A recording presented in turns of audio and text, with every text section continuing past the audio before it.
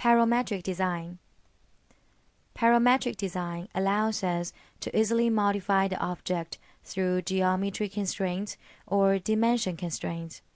It helps to save time, improve production efficiency, since it avoids manually editing every parameters of the object whenever we want to make a change.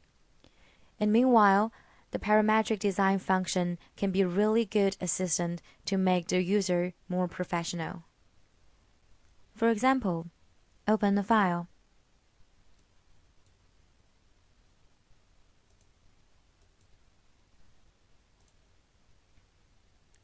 We will only change the degrees with all the other parameters stay the same. Left click on angular dimension first, and then left click on the blue node on the edge of the object and drag it to change.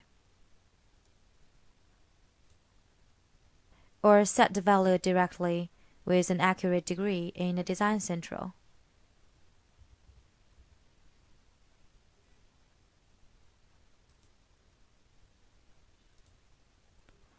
We can also only change the radius.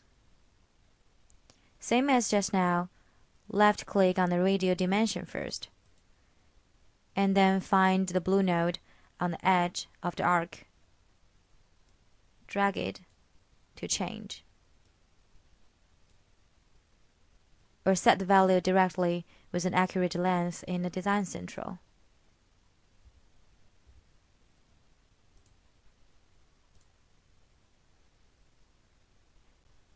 That is a simple demonstration of how the parametric design works.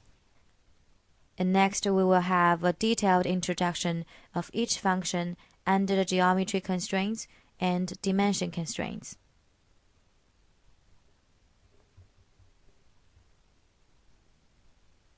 Draw a rectangle. Go to Parametric and choose Geometry Constraint. In the Design Central, we see that the geometry constraints include horizontal, vertical, parallel, perpendicular, tangent, concentric, coincident, equal, point on curve, collinear, symmetric, fixed, and same constraints. First, take a look at the horizontal constraint. Before we apply the horizontal constraint to this rectangle, when we drag any of the nodes, the shape can be changed freely.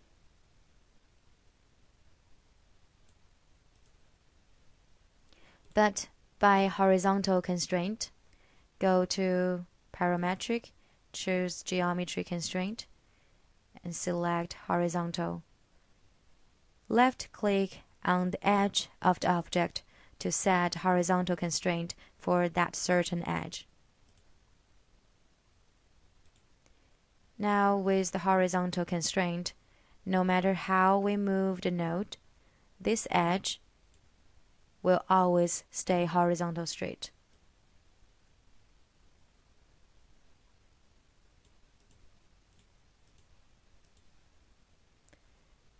Parallel constraint. For these two edges, without parallel constraint, either of the two can be changed.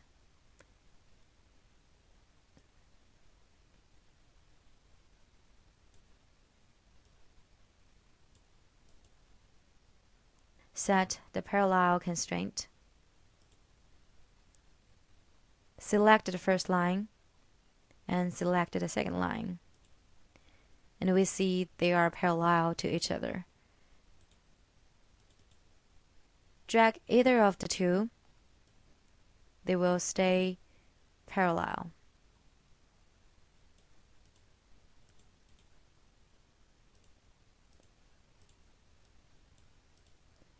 We can also realize dimension constraint while keeping the geometry constraint valid.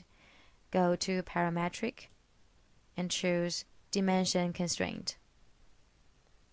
In the design central, we see that dimension constraint includes linear dimension, radial or diameter dimension, angular dimension. For example, we try linear first.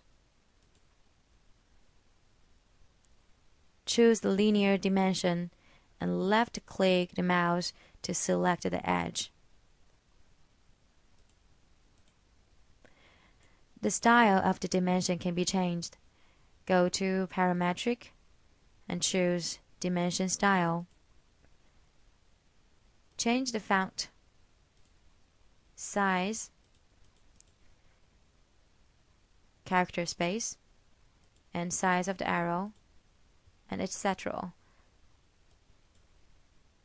And click Select all dimensions and update selected dimensions.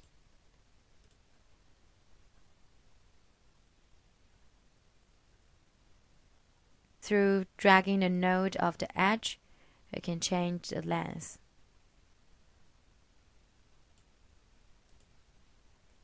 And please notice that the geometry constraints we have already set are still valid. They are parallel to each other, and this one is horizontal constraint.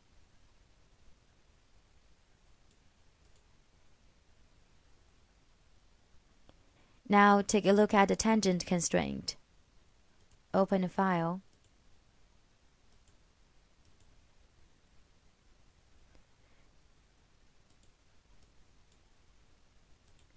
This arc is tangent to these two edges. If we randomly move the node, they won't be tangent anymore. But with tangent constraint.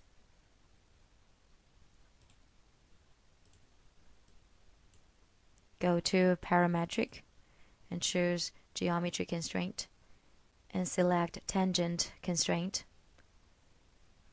Select the first curve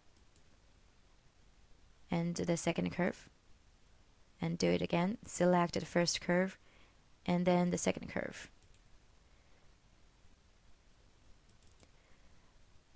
Now we see that when we move the arc, it still keep tangent to the two edges.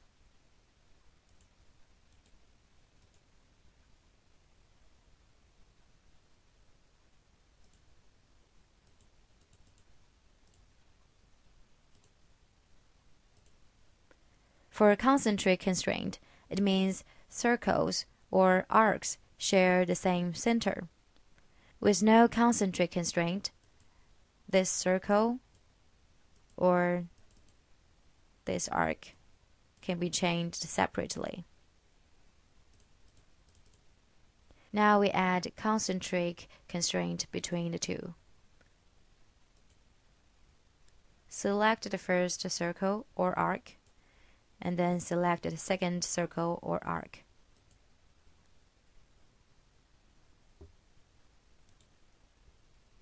And now this circle and this arc are related by the same center.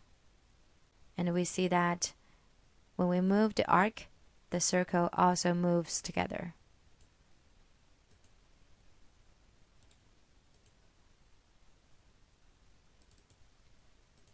Next one, equal constraint. The equal means the radii of the circles or arcs or the length of the lines are the same. Here we set equal constraint to these two circles. Select the first curve and then select the second curve. Then we add radial dimension for this circle.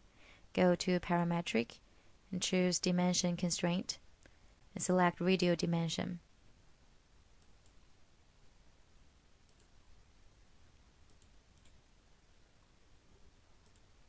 When we change this circle, we see that the other one is changing equally.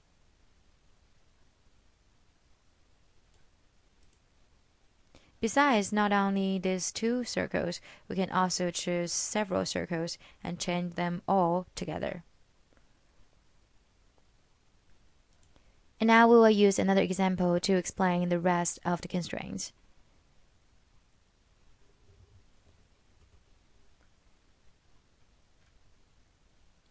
Draw a triangle.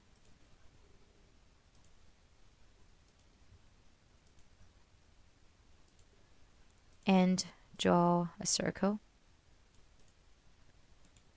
Hold down shift to make two copies of it. Go to parametric and choose geometry constraint and select the coincident constraint. Coincident constraint means that the two selected points will coincide with each other. Select the first point and select the second point. First and second, first and second. Now we see that the circle and the triangle are coincide with each other.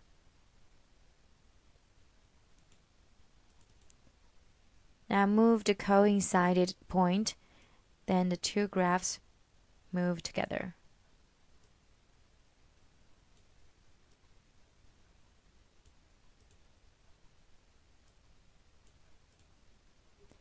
Next one, point on curve. Draw a straight line and go to parametric geometry constraint point on curve. First select the point and then select the curve. Then this point is constrained to move only along the line, but the position of the line will be changed when we move the point.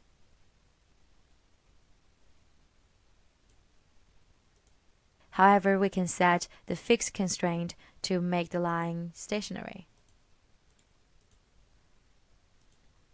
Go to Parametric and choose Geometry Constraint and select Fixed Constraint select the point and select another point. Now we try again. And now we move the point on the curve and we see the line stays the same while the point can be moved along the line.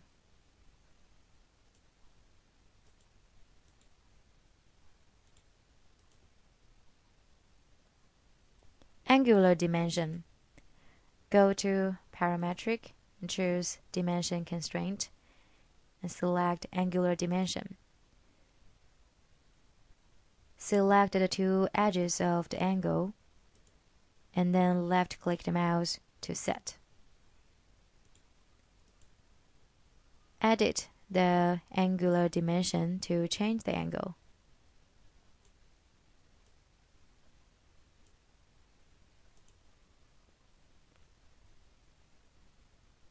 Next one, same constraint. Same constraint will make the transforming object change in the same way as the reference object. For example, open a file.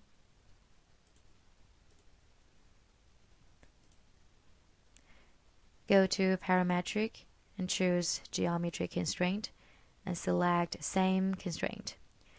First, select the object to transform and then select the reference object.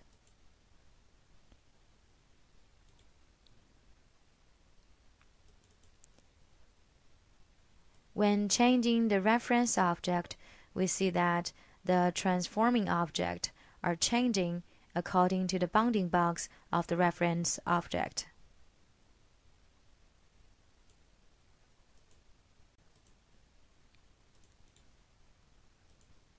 Except the geometry and dimension constraints, there's also an auto constraint.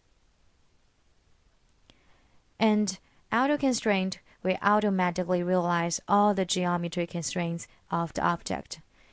Here we set auto constraint to the reference object.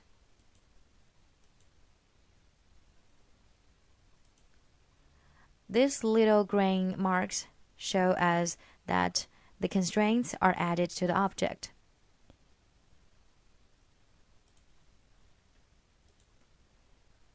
And now, when we move the reference object, we see that the same change is achieved between the transforming object and the reference object.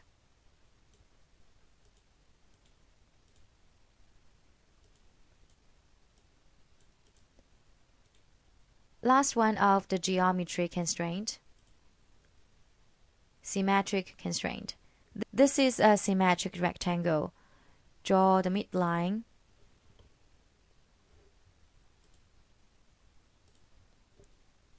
And this is the symmetric line.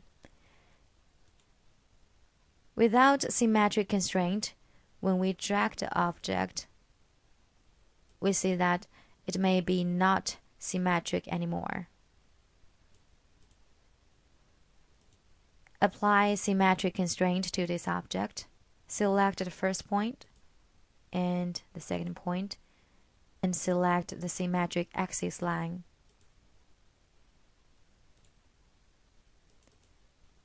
And now we see that the object changes symmetrically.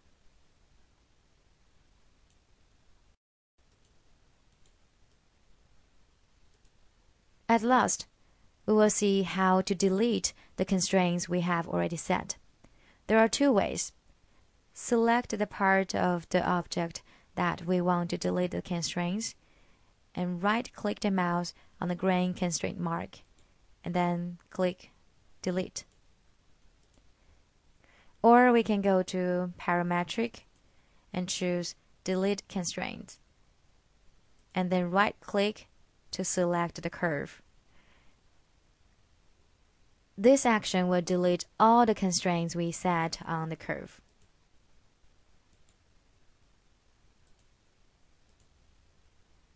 And that's the end of the parametric design tutorial. Thank you.